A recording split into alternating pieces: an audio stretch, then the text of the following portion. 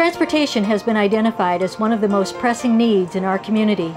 With your support, United Way of Story County is developing programs that help people get to their jobs, medical appointments, and the grocery store.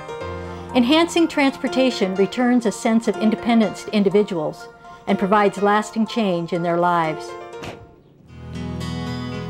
The diagnosis of a mental illness is just the first step in the treatment process.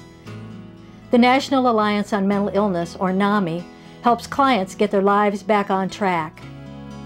I was diagnosed with severe depression many years ago. I had many hospitalizations and I tried everything that was available to me to break my depression.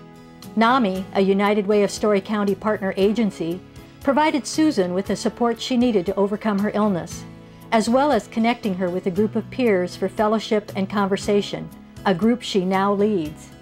I found out that this place existed where I fit in and I learned tools and I gradually began to rebuild a life.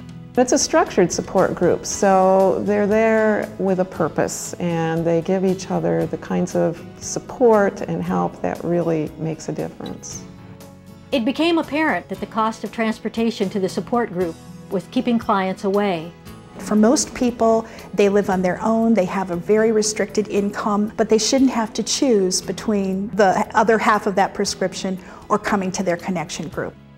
Through a grant from United Way of Story County, NAMI was able to assure the continued attendance and support by making it possible for consumers to travel to the sessions. It has really helped. We have people who say, you know, I wouldn't be able to come every week of the month, especially that last week of the month, if I didn't have that promise that those expenses would be reimbursed. To get people out and to get us connected with each other is life changing. And I just think it's so great for you to get an opportunity to know how that money works and how it's helping people and changing lives.